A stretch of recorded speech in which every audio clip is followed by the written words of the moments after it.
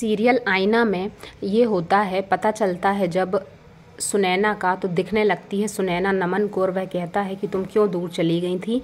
अब मत आना।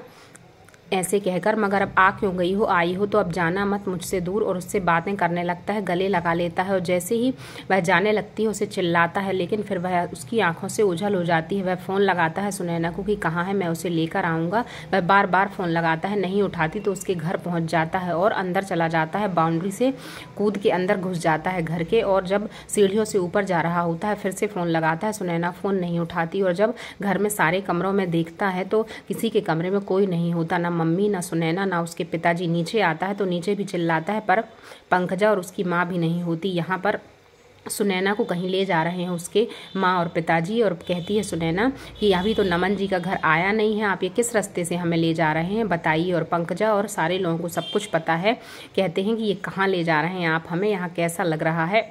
सुनैना कहती है, ये तो नहीं जाता रास्ता, नमन जी के घर, आप बताओ कहाँ ले जा रहे हो? तो तब मजबूरी में बताते हैं वो कहती है कि मैं गाड़ी से कूद जाऊँगी। यहाँ नमन परेशान है कि सुनैना को क्या मालूम कहाँ ले गए हैं, बहुत अजीब लग रहा है उसको। माँ कहती है, तू चिंता मत कर, मैं ढूंढ कर रहूँगी अपनी बहू को कि वह कहाँ है। मैंने अभी पुलिस वालों को बुलाया है। जब पुलिस आती है तो सारी बातें उनसे बताई जाती हैं और सास कहती है कि मेरी बहू को उसके मायके वाले ज़बरदस्ती कहीं छुपा कर ले गए हैं। आप उन्हें ढूंढ लीजिए, नहीं तो बहुत बुरा होगा। वो कुछ भी कर सकते हैं उनके साथ।